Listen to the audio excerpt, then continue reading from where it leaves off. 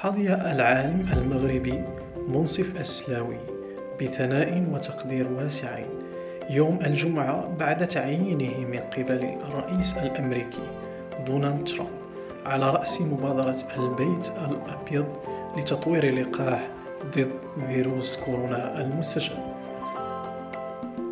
ولم يقتصر التفاعل على الأوساط العالمية التي أشادت بالسلاوي وسجله الحافل بعد بل امتدت الحفاوة إلى المنصات الاجتماعية فحرص المعلقون على التطرق إلى محطات من حياة العالم الذي يحمل جنسيات المغرب وبلجيكا والولايات المتحدة.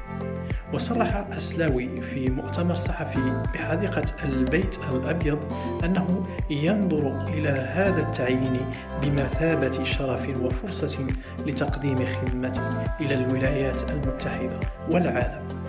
في ظل الجائحة التي أصابت أكثر من أربعة ملايين ونصف مليون وأضاف الرجل الحاصل على درجة الدكتوراه في علم المناعة أنه اطلع على بيانات مبكرة متوقعا أن تكون ثمة مئات الملايين من جرعات اللقاح بحلول نهاية العام الجاري.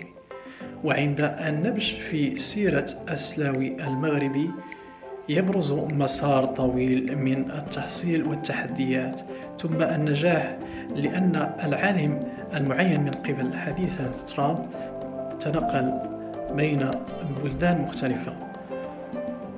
وأمن دولا بضرورة اقتناص الفرصة متى ما لاحت أمام المرء بحسب ما قال في لقاء صحفي.